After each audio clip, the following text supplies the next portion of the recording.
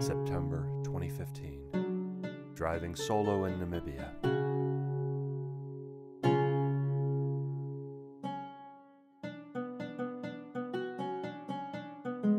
This land invites you to park your truck and hike deep into the beauty, where lions, cheetahs, and leopards still manage to make a home.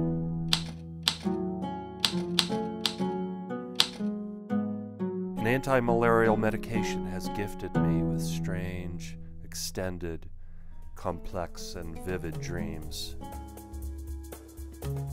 I hear myself saying, This is pretty amazing.